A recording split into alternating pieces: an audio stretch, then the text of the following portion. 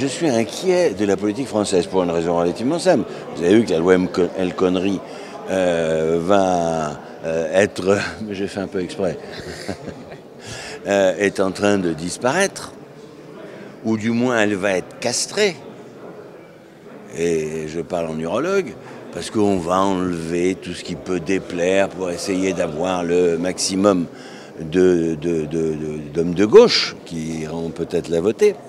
Et puis, regardez, on vient d'avoir un amendement écologiste euh, qui a été retiré précipitamment par le gouvernement. Il a été posé par le gouvernement, il est retiré par le gouvernement. Enfin, c'est pas du travail, ça. Qu'est-ce que ça veut dire?